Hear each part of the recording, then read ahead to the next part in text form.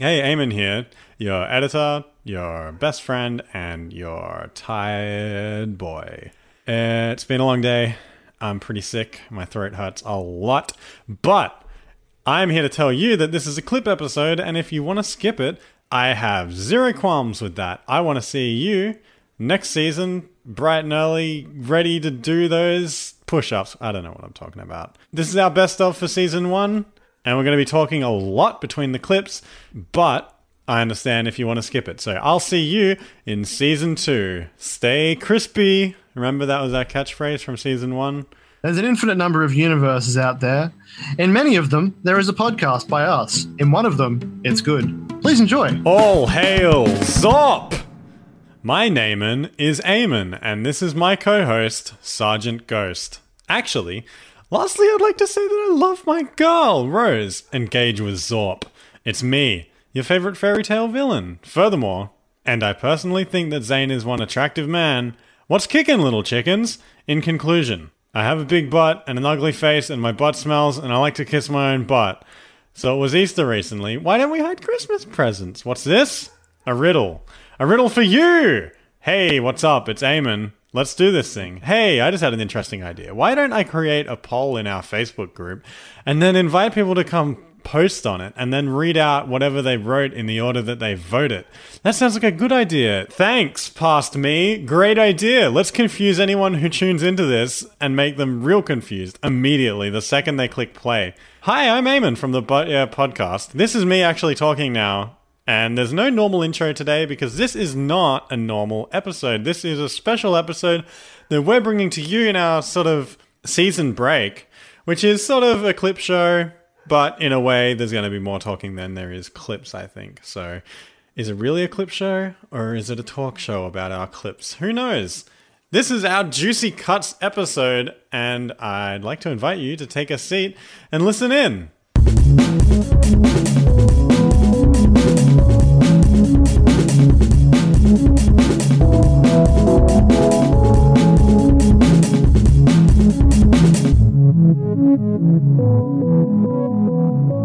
Let's jump right in. First clip, episode 15. This is from our Christmas episode where we were both in the same room in my old house and we tried eggnog for the first time and just talked about the experience in a very objective and mature fashion. I don't remember yelling, This is very creamy, this is very noggy, but let's go listen to it. Oh, I should mention, I have absolutely no idea what Zeb is gonna say after my clip ends and he introduces his clip. So let's see. so the creamy juice is here. That creamy juicy love. Everyone, everyone around the world is drinking this creamy juice um, with whatever whatever favorite additive they want. Um, just worldwide, everyone's getting down on that creamy juice of egg and nog. That that that that old creamy nog. That the kids are the kids are drinking it. Grandma's drinking it. Aunt the aunt aunt Aunt Mary is really drinking it. the eggiest of nogs. Um, so we're trying eggnog for the first time. Um, I don't know what to say. It tastes like creamy milk and then Tastes- um, tastes cleaning like- fluid. Tastes like, yeah. Uh, I've, done- I've just poured out store bought nog into some brandy. First first time I think first time I've ever drank it. You've never had nog before, have you? Have you nog? I've never had my yeah, you sir. You've never tried this before, have you? No, never, never nogged. No, I've never No, nogged before. I've never nogged. Um, no, I've first- ne- never had eggnog, never had brandy, never lived. Have now. I'm not sure if I like it. I don't know if I like my new life. I think Is this it for the rest of my life? Just drinking nog? is this just maybe. So this is Zeb with my half of uh, the Super Super Thursday season two uh, special season one finale hybrid f- flashback filler episode. This isn't filler. No, no. People love this. People, people love hearing stuff they've already heard, or at least all the good bits. Now you don't have to listen to season one. How good's that? How good's that? Let's just listen to all the good bits. Um, anyway, I've picked out a few as well as Eamon. Um, I'm not sure if I'm on the first half of this because we've recorded this separately, uh, but I digress. um, my favorite type of content tends to be the digressions. Anything that in my type of content is the type of content which impedes Aemyn's ability to deliver wholesome or otherwise episode completing ep- content. Um, so the first thing I've picked out here is one time we had a bit of a chat about a game show idea. Yeah.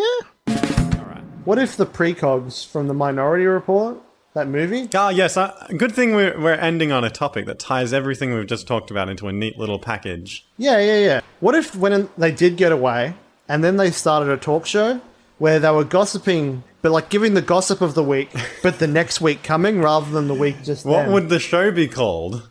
Hang on, let, let me look Um, up breakfast show names. You just keep talking for a moment. But yeah, I just think it'd be great. They'd be just all talking over the top of each other. I imagine it would probably be all three of them. And then maybe they'd have like a guest. So in in Australia, we have Sunrise, we have Today, we have News Breakfast, and the Morning Show. Um, probably The Morning Minority. um, turning cogs. Turning Cogs. God. They'd be just there in a panel, that one of those one-sided desks, looking out at the audience. Still bald, I assume. So these are the bald precogs. Yeah. Are they in their in their barbs or um? yes, yes, they are. They are still in the baths, but like physical, just regular bathtubs. like, hello everybody and welcome to Talking Cogs. He's the charismatic one. He's very well known for like flying off the handle and going on tangents. And he's like, so this week, uh, wait, are they talking about what they're gonna talk about, or are they talking about what's gonna happen? They're talking about what's going to happen Uh, so this week, because they're pre- they're using their precog abilities to give the future gossip. yeah. So this week, uh, in uh, in the Golden Globes, we have a number of winners um, that we're looking forward to seeing. Why don't they just share all the results? Guess, well? And the Golden Globes are like, fuck those guys. they just interview people who are gonna win. Yeah. So how do you feel about the fact that you're going to win? And Leonardo DiCaprio is like, well, um, I've already won once, so I don't. I think I think it was this show that I won on. I can't remember now. I've won. So, I've won so many awards. I guess I'm pretty stoked. So this week coming, you don't win. How do you feel about that? Like this is the first time he hears of that. They bring him on, and they don't know what they're going to tell him. Oh, you don't win this week. How do you feel about that? Oh, I, I, I'm sorry. It doesn't look like you're going to be winning this week. So how do you feel about the nip slip you had later this week? How week? do you feel about the scandal you're involved in soon? So you're so unfortunately, our guest this t- today, um, he dies later this week. What do you think of that? Uh, Um, what? Obviously, they don't tell anyone else. They they want authentic reactions, I guess. So this clip from episode 22 is about the history of flat earth theory in a comedic way, but I think instead of talking about that, I'm just going to read this buck wild excerpt from the official Strawinsky law for the Globglogabgalab, and I bet Zeb has mentioned this boy somewhere else in this episode, but I have no way of knowing. But when the Globglogabgalab says, I am the yeast of thoughts and minds, the official explanation for that is his body is like a huge lump of dough that is fed by the thoughts and stories of the books. The contents of the books work their way just like yeast through his body, causing all kinds of changes within him that he can't properly control, and thereby making him extremely overweight and obese. Nonetheless, he spends all his life consuming whatever thoughts and books he can find. Oh my god! This is worse than what I thought it was. I thought it was a metaphor, but he's literally a yeasty boy who swallows up information through his physical body. Oh my god. Anyway, here's some flat earth theory. He also set up. There's some guy at the time, and it's funny that like the old, the world back then is kind of like the world now. In that there was this guy who was all like, "The world's not round. If anyone can prove that the world is round, I will give them a million dollars." Or then this guy, um, old old Wally, went okay, and then he did an experiment. And then the courts went, "Yep, that confirms it." And the other guy like kicked up a massive stink and like started suing everyone, left, right, and center, just being like, "No, this guy's a fraud and everything's wrong." Do you have do you have what Wally did? No, it's like I think something similar to the experiment where they got the two poles and then measured the shadow change. Oh yeah. It would have been cooler if he did like a like a giant some sort of giant mechanical arrow that fired off into the horizon and came back around. He just launched the first satellite, and then it peeled out into a flag that said "Eat shit." Good stuff. Um, but yeah, it seems to come to my attention that I think they grew their hair at the end of that. So I still think they'd shave it again, or wax it, or find other some other way to be completely smooth.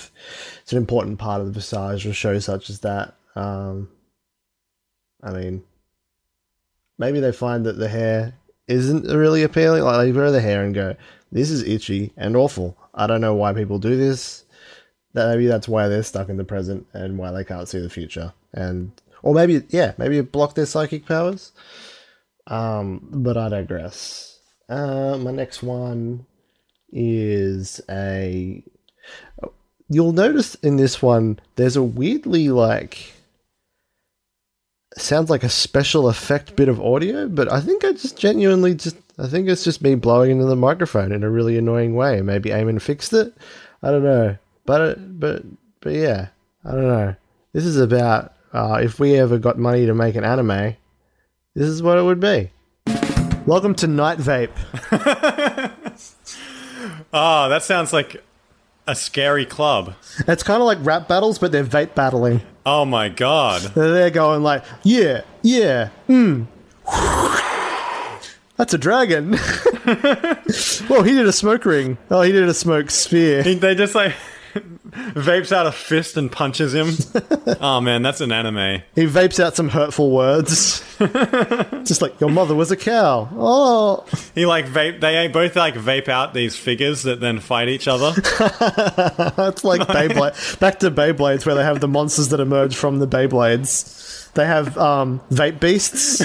It's called Welcome to Va- Welcome to Night Vape, the anime, and they're like really extreme about their vaping and having vape battles. Oh shit. And like, I guess they're trying to sell vapes because I mean, any anime is selling something. oh yeah, they're trying to sell vapes to children. That's like the one, number one thing animes do. And the, and the and the, the schools have to crush this craze. Kids are fighting with their vape. Um, They're having va- they're, they're having vape beasts battles. they probably wouldn't do much too much damage because they are literally just smoke creatures. But they're going around kicking in bins to make a little battleground for their tiny vape um, beasts. so this clip from episode three uh, came from me being genuinely terrified of the idea of an industrial machine that could debone a human and leave them as like a flappy husk in a horrible mechanical accident or something. But I think it's important to think of the potential for if we could donate bones to people who need them, especially because they do grow back. So stop being selfish with those bones. Go donate them today. Bone donors! What if um, in the future we find a way to suck bones out and you can become a bone donor? Like a blood donor. It would hurt, like but it'd be worth it for the people who have their bones sucked out by the future robots. yeah, I guess. But then you'd also need a bone donation. Well, I mean, at a certain age, you could still grow them back. That's not You true. know. That's not Well, true at have all. you ever- That's completely made up. When was the last time you had a bone sucked out? I've, I guess did- never.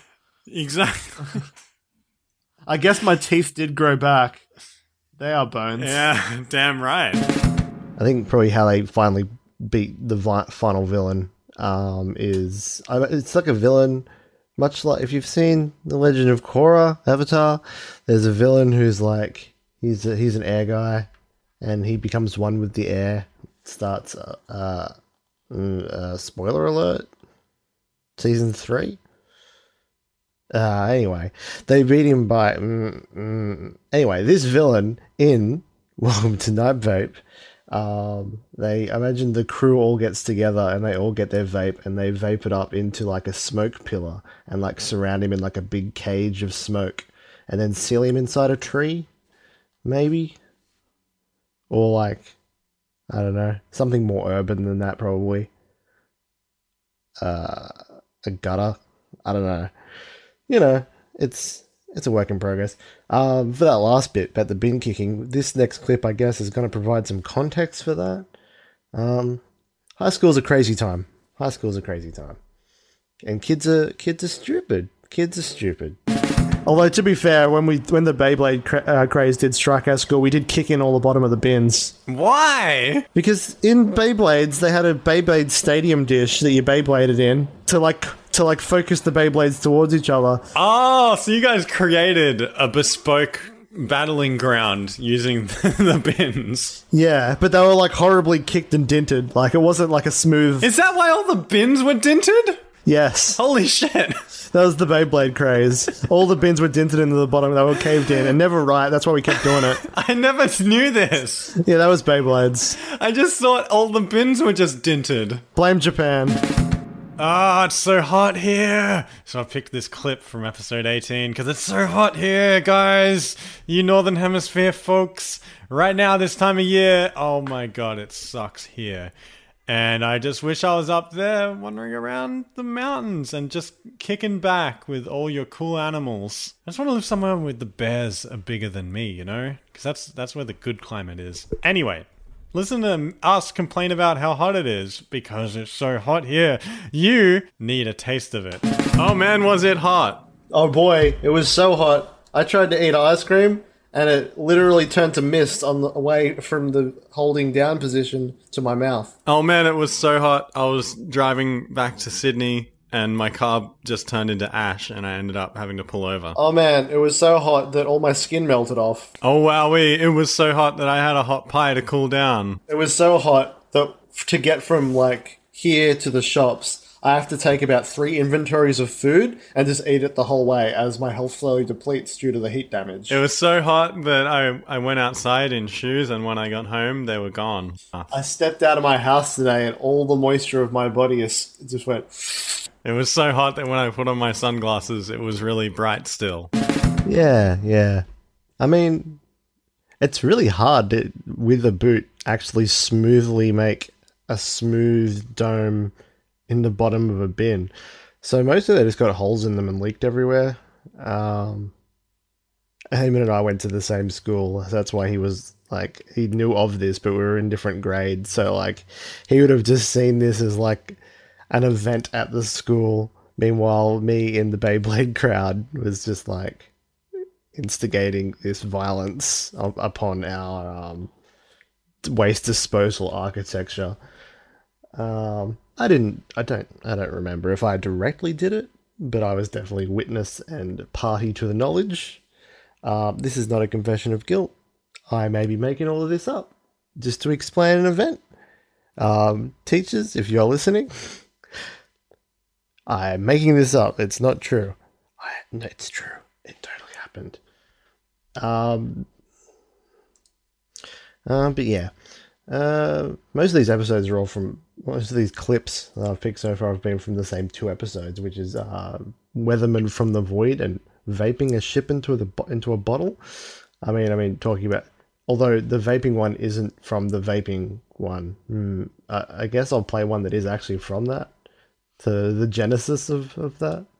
Like, what are what are your favorite vape tricks? Oh, you know, a, a three, I like- 380, 360, I like the one where they make an ollie. the one where they do the the Lord of the Rings dragon as a as a vape trick, and they like blow out that cool um, fire dragon as smoke. Or the ship, Yeah, or they do the ship. You like blow out. or the, or the. Sorry, okay. Well, what you do is you you you vape out a bottle first, and then you vape out a ship inside the bottle. Va- vapor ship into the bottle. it's like that whole hobby where you build the ships in the bottle, but even harder. Yeah, but you, you vape in. That's the trick I want to see. I want to see someone vape a ship into a bottle. A, a vaped bottle, not a real bottle. Oh, even a real bottle that that would be still co- pretty cool. still be pretty impressive. especially if you can seal it and keep it in there. Yeah, you can just vape various things into bottles and just keep like this is my gallery of good vapes. Yeah, in, in like 50 years' time, we'd be like, oh, this is the, the ship Grandpa meticulously vaped into the bottle. Oh man, you could call it the gallery of dope vapes. That's what I'd call it. oh man, I that would be boss. I'd love that. So, my final clip is Zeb's explanation of creativity in episode 8, which pretty much sums up this whole thing we do, which is you just do it, and at the end of the day, you can't control whether it turns out like a bunch of mouths flapping in the wind. But you don't get to know that until you try. All you can really do is plan and practice, which is part of doing it. You can't create the perfect plan unless you know what doesn't work and what does work. And after 28 episodes of doing this show, I'm really happy to know that there's a lot of stuff I know doesn't work, and there's a lot of stuff that I know does work. And it's really cool. I don't know if anything comes of it other than just something fun to do, but I do know I've made a lot of friends through this, and I'm really looking forward to this coming year and what it's going to bring. So if you're doing anything creative, keep at it, make mistakes, record things, watch them, figure it out. Find out what you did wrong, find out what you can do better, find out what you did right, and be proud of it. Take a chance on someone who might be interested in what you do. Don't downplay yourself. Go and do it. And at the end of the year, you might know when and when not to just say, blah. all creative creativity is it's not this magical concept where it's like ah i can create therefore i'm human all creativity is is just all the shit that you've seen before reshaped like if you never saw anything you couldn't be creative Yeah, exactly. Like humans are just like really, really, really powerful machines that just turn Yeah. information into data. we're just machines that aren't consistent Yeah. like i mean we're just we're we're mach- we're meaty gooey machines that just sort of have a randomizer at the end of it where a computer always does the same thing ours hits a thing at the last minute and goes now there's 10 things it could be Dun, dun, dun, dun, dun, dun. and then you just go blah say something stupid you go dang it and say the smart one Honestly, I can't explain why we keep going back to vape. I mean, neither of I think Aemyn, Aemyn bought like a, a funky little mechanical vape, but it's less for the sake of vaping and more for the sake of he wanted something else to plug into his USB slot that lit up and did something weird. Um, but I don't know. There's just something really funny about um, hilarious, hilarious smoking devices. Maybe I don't know. I don't know. Are they harmful? I, I honestly don't know. Maybe there's, maybe I shouldn't be raising awareness. Or maybe I should. Maybe they are a healthy alternative. I don't know. I don't know. Uh, I'm going to give one more, but I'm going to go back to a classic. Most of our, our later episodes are much different from our later episode, from our earlier episodes. There was kind of like two different shows. If you divided about the 15 mark, our early episodes were a lot more uh, loose, but then um, we started sort of instigating a sort of more rigorous uh, they, we wrote text, uh, like wrote three lines before going into it. But in the early days, it was just sort of us meandering along. Um, so I'm gonna play this one from one of our first episodes, which I think was called called the Bone Extraction Machine or something like that. It was episode number three. Early early episodes, I generally recommend keeping it light on those and biasing more towards their more recent episodes, more like more like you know Weatherman from the Void and uh, maybe Neapolitan Meat Tub or something like that. Um, although when we were starting season two now, so probably start there unless any of this strikes your interest. Anyway, this one's one of the early versions, which I think there was a lot of good good stuff even then. I was sucking all the bones out of a chicken for um, sandwiches. And I was thinking, like, if only there was like some way to make robots um, be able to pull bones out or detect bones. But then I also got kind of horrified at the thought of a machine that can identify bones and just suction remo- out. and Like remove them. Like imagine that industrial accident where it like someone slipped and fell on the industrial bone sucker, and it just went, and they were just flat, just like wobbly leftovers. Man, ma'am, it wouldn't be comical ma'am, either. It'd be like just gore and flesh everywhere. But ma'am, I've got some bad news about your husband, and and also some good news. the the bad news is he no longer has any bones. The good news is, I, I don't know. I'm waiting for you to figure that out. oh, um, you can stretch him across a canvas. It'd actually be kind of like a cool, like a cool macabre genre of modern art. Maybe like it's kind of like I mean, people donate their skin to to tattoo places and all that. It's kind of like a really efficient way to to do that. I mean, like I mean, not while you're alive, obviously. There's always there'll be medical applications of that machine. It'd actually be really useful. Um, but I mean, I mean that Google car did attack someone, and inevitably, so would these once they're driverless bone sucking machines. It would be a very particular, not so necessarily the most effective weapon in the in the robot apocalypse, but it would definitely be one of their more terrifying ones. Um, just hearing the down the street, down the street, kind of like a War of the World situation. Terrifying, terrifying. Um, but yeah, I'm gonna call it. That's all my clips. There's other good stuff around, but I quite like those, and hopefully season two will bring us many more, many more delicious, delicious, juicy cuts of audio. I might throw a few of the spares of these up on Twitter or on our Instagram actually, because we cut out quite a few.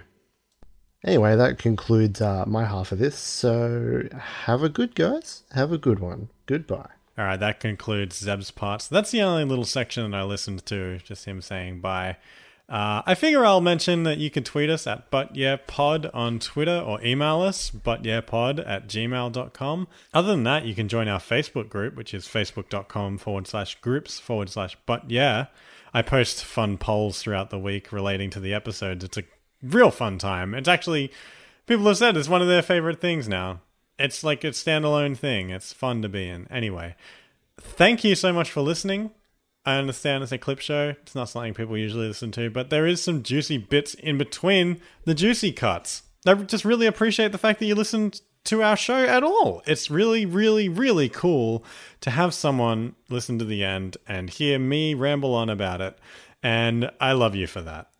And I would absolutely love you to tell me that you listened if you came on Twitter or something like that. But if not, I hope you have a great day, a great year, and we'll see you in season two, starting April 12th. Until then, as we always say, I've never said this, stay crispy. Bye.